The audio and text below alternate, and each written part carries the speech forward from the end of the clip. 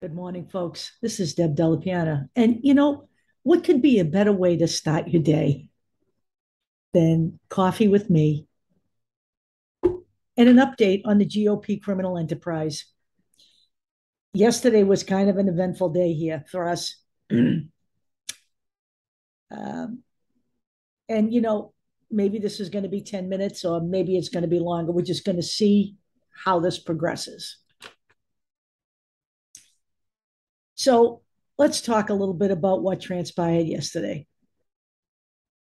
We're gonna we're gonna start we're gonna start right here. So hang on a minute. Hang on. Don't go anywhere. This is always a challenge for me before eight o'clock. Sorry, hang on.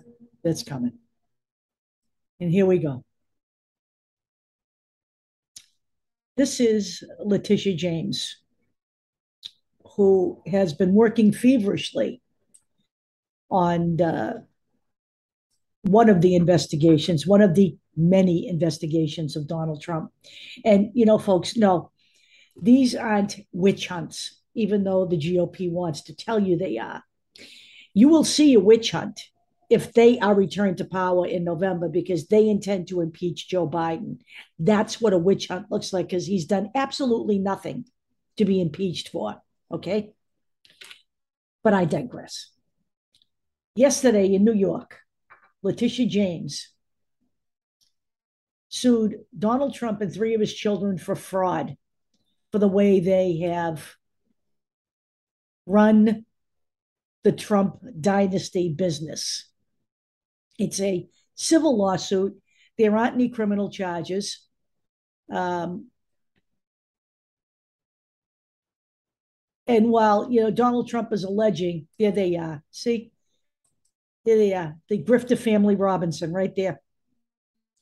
While Donald Trump is alleging that Letitia James is corrupt, she uh, had also acknowledged during her press conference announcing the suit that she would face criticism that a lawsuit is partisan. That's you know what they do, um, and this investigation has been three years in the making.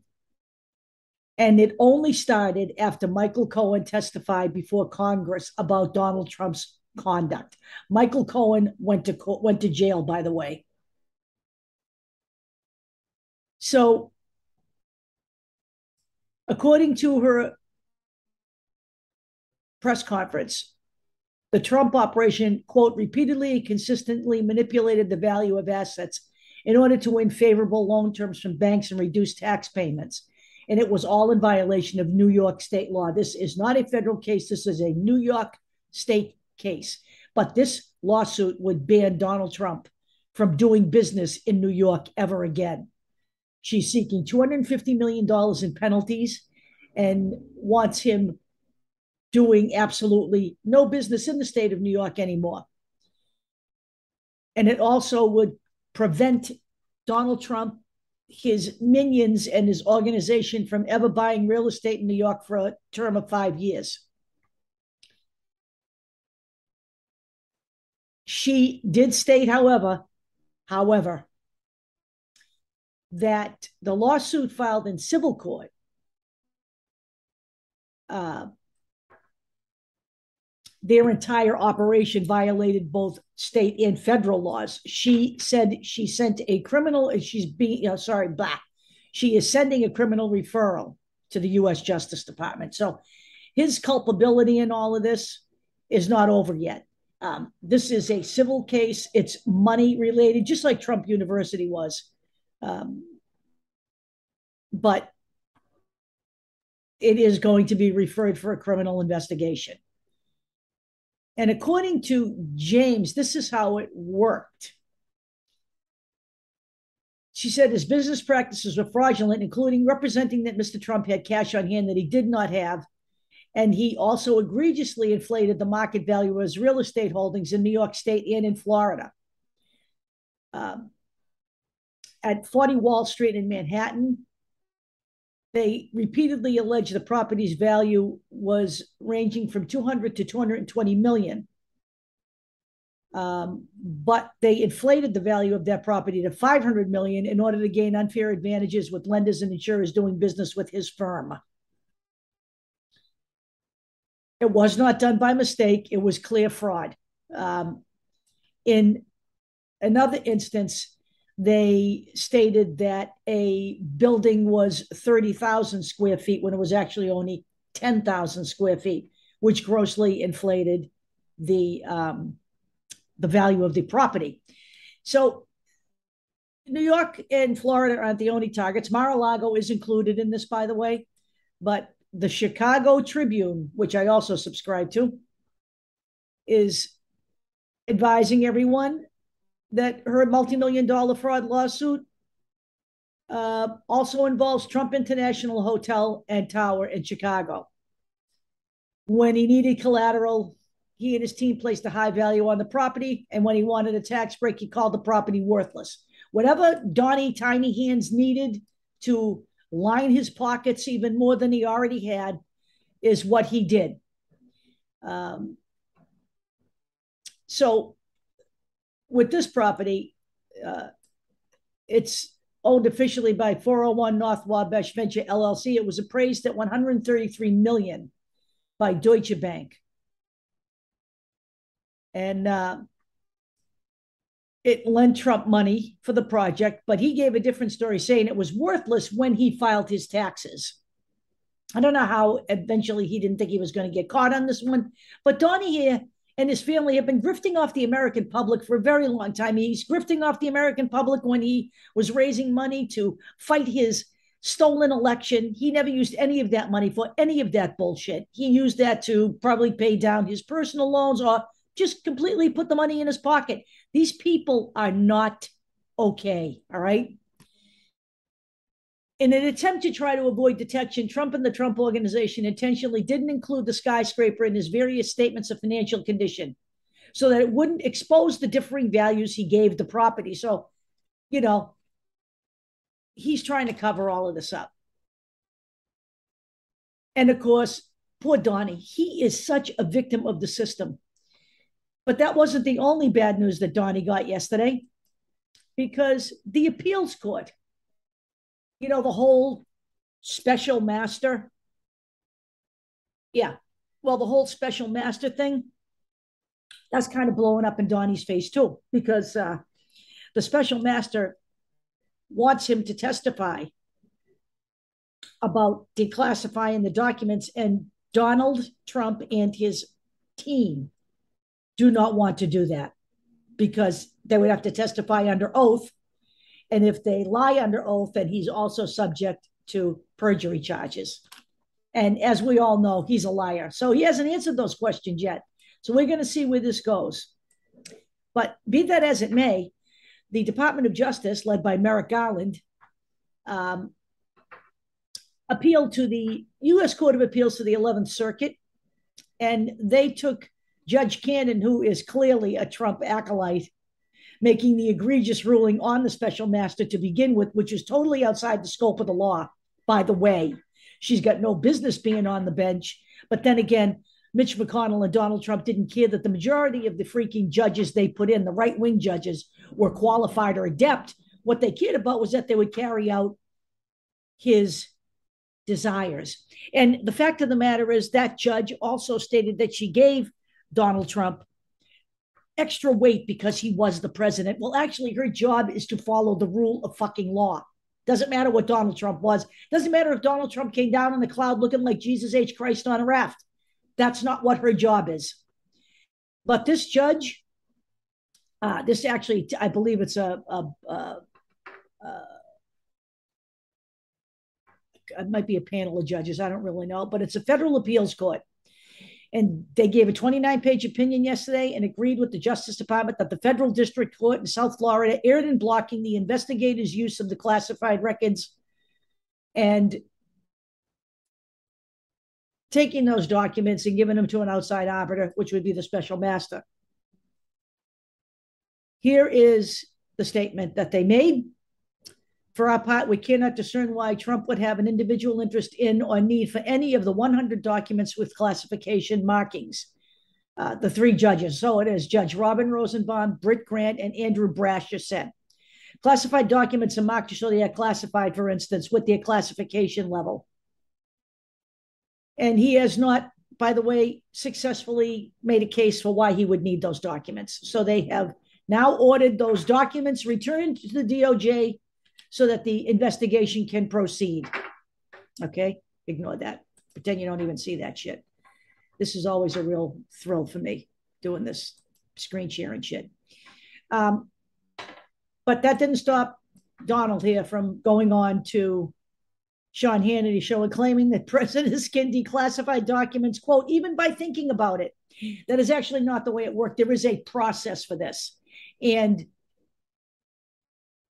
I want you to understand this. The people who classified those documents to begin with classified them for a reason.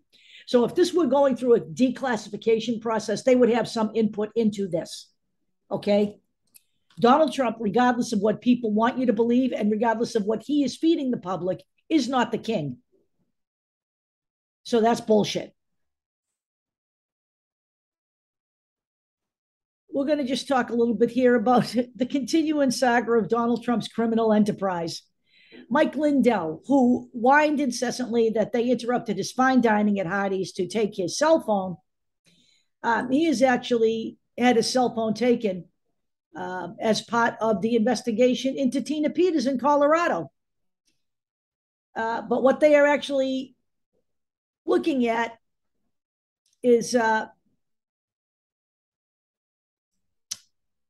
whether Mike Lindell exercised identity theft and damage to a protected computer. As we all know, there was a breach of the Colorado County's voting system. Tina Peters took information off those computers and provided them to Mike Lindell for one of his grand and glorious truth sessions. Um, so the filings in this uh, warrant for the search, uh, which was filed by Lindell's team on Wednesday, uh, as part of his lawsuit to the United States District Court in Minnesota, showed that the DOJ is investigating Lindell for identity theft, intentional damage to a protected computer, and conspiracy to commit identity theft or intentionally damage a protected computer. Uh, the warrant was approved on September 7th and the search warrant had to be executed before Wednesday, September 21st. And they also approved the search and seizure warrant because they had probable cause. This is how these warrants are gotten. They have to go in front of a judge and prove that they have enough of a case to do it. So Mike Lindell, he's another whining little sack of shit who has spent the better part of his time holding these truth conferences where he alleges he's going to show us all of the evidence that proves that the election was stolen. He is actually up in arms that Donald hasn't been reinstated yet. Mike Lindell is a crackhead, okay? And he's also worthy of being investigated, folks. I'm I'm really sorry about this, but this shit, this stuff can't be allowed to go. Okay. I, I don't care what anyone says about it looking partisan. The DOJ, whatever, whatever entities are investigating this, the people in Georgia are investigating the election fraud down there, this all needs to move forward. They need to move forward no matter what anyone is saying because we cannot allow, we cannot allow this kind of shit to happen. And by the way, uh, people are saying here that Watergate was different because the Republicans, you know, agreed to do this. Well, bloody, bloody, blah. Let me just tell you something. Republicans had an opportunity to get rid of Donald Trump by participating and isolating him from the party. By participating in the J6 committee, they made a tactical error because Kevin McCarthy is a loser. Okay. And they could have stalled this whole thing, but they they chose not to participate, thinking it was going to go away. Well, it didn't, and I'm glad it didn't. Nancy Pelosi made the right call. Let's see what we got here. Oh yeah, these are just a couple of parting shots. Uh, yesterday, Ted Cruz made himself a video touting the infrastructure bill and how it's going to bring uh, jobs and improvements to Texas because they introduced a bipartisan amendment to an omnibus bill. That would be Joe Biden's bill, which Ted Cruz voted against. So here's what we have we have Senator Cruz, who voted against the original package, you know, adding to the pain that went through getting this thing passed to begin with, with this version of the GOP. Uh, and now he wants to take credit for bringing jobs and improving the the infrastructure of Texas. You know, going on, of course, Fox and making his case. Ted Cruz is another opportunistic parasite on the American public, another opportunistic parasite and a waste of taxpayer dollars every single day of his life. Um, and you know what? He's another guy that should get voted out. Let's move along. This is like a little news session, okay? That's what you can consider it. I'm not going to make a new opening, so we're going to call this now that we've gone well past 10 minutes. I'm going to call this, you know, uh, some other kind of video, but it's not called short takes anymore. Now, in the House, we have moved to another level here. And this is the reason for the J6 committee to begin with. So let me make this clear. Okay. The J6 committee is an investigative arm whose job it is to submit a report and potentially criminal referrals. I will tell you that their report is coming. Potentially, you know, criminal referrals to the DOJ. Their other job is to pass legislation to make sure that what happened on January 6, 2021 never happens again. All right, the Electoral College Act was one of the reasons why this happened, giving the um, the uh, vice president that kind of power, put it in the hands of one man, and we all saw what Donald Trump did with Mike Pence. We don't need to go over that ad nauseum. So they did introduce their first bill yesterday, and it was passed in the House um, passed by a 229 to 203 vote with nine Republicans crossing the aisle to sign on to that bill. The bill was written by Representative Liz Cheney, the perennial thorn in Donald Trump's side, who, by the way, I don't agree with her on any policy issues, but you know what? I give her credit for what she has done here. Uh, and Zoe Lofgren from California, the Democrat, bipartisan bill explicitly cites the Capitol attack as a reason to amend the Electoral Count Act of 1887, quote, to prevent other future unlawful efforts to overturn presidential elections and to ensure future peaceful transfer of presidential power. Um, they acknowledge that legal challenges are not improper. And, you know, we had it with the Gore election with Bush. Um, it doesn't change any of that, this bill. The bill prevents Congress from illegally choosing the president itself. That's what it does. And this is something that would have happened had Pence cooperated. And let me just say this a lot of people view Mike Pence as a hero. I don't view him as a hero. He did his job. But I will say this Mike Pence consulted with an, a judge before he decided what to do. What would have happened had Mike Pence gone along with this? Does anyone think that Mike Pence is beyond reproach because he's going to run for president and he's, you know, did what he did, but he's unwilling also to dump Trump. So we have all of these people here enabling a dictator. I mean, people, watch what's happening. The GOP is now, quite frankly, uh, and this is all going to be here, by the way, uh, this will be in here, and this this article also includes uh, details on the bill. What else it does? It basically makes the vice presidential role one of an overseer, not the one guy holding all the power. Okay, it's this is to protect the will of the people.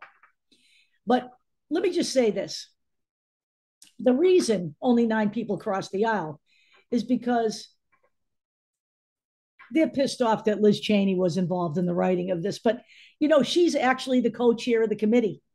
And I don't know why they would think that she would do anything but do what she's doing because she has shown a singular determination to make sure that Donald Trump never infects this country with this particular brand of corrupt virus again. And that's what they're basing this on, which only goes to prove one more time. I don't know how many times the GOP has to prove it or how many ways that what they really care about is power, their own, their own, and power. They don't give a damn about this country. They don't give a damn about anybody but their power. And there are still 147 sitting criminals, seditionists in our government, and of 535 legislators running for reelection in November, fully 199 of them ascribed to the the election was stolen Donald Trump mantra. Okay. We're not out of hot water yet here. You need to vote wisely. And we're going to close with just a final word on Ron DeSatan. Um, I did. I already did a video on him. I'll put the link in here for that video. Okay, but new information has come to light beyond the you know crafted brochure that is the smoking gun and all of that uh, that shows exactly how they lied to the migrants. But adding insult to injury, another Ron DeSantis move. Operatives, operatives linked to DeSantis promised to fly migrants to Delaware. Of yes, of close close to Joe Biden's summer home, of course. They've already deposited people on the doorstep of uh, Kamala Harris's house. Okay, uh, that was done by Greg Abbott. Uh, but then they left them stranded. So they basically promised them all the stuff, all the same shit they promised the migrants going to Martha's Vineyard, um, and then basically stiffed them. And these people are, are, are distraught. These are not just people coming here to steal our jobs. Okay. These are people who came here to escape oppressive regimes. This is done all over the world, by the way. This is done all over the world. Americans can do this if they want. There are American expatriates. Did you know that? People who have chosen to live out the rest of their lives in another country. Okay. And they are free to do that. Okay. Um, these people are coming here seeking asylum. And as such, they are guaranteed a hearing because that's the way our country is and has always been. But Ron DeSantis, he's going to continue on doing what he's doing until somebody puts a stop to him legally. And that is what has to happen here. He is being investigated, okay? Not only by the state of Massachusetts, but they have encouraged the DOJ to become involved. So that is basically our little news broadcast about the workings of the GOP and Donald Trump. And hey, if you think this is the way public servants act, then, you know, you're probably a maggot. I'll talk to you guys later.